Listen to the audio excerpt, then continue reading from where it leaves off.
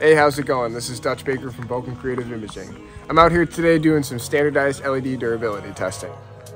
We call this test the chuck down the driveway.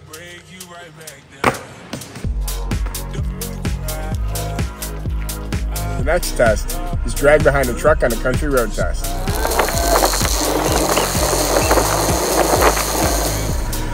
This is the I just got run over by a truck test. Do this my friends.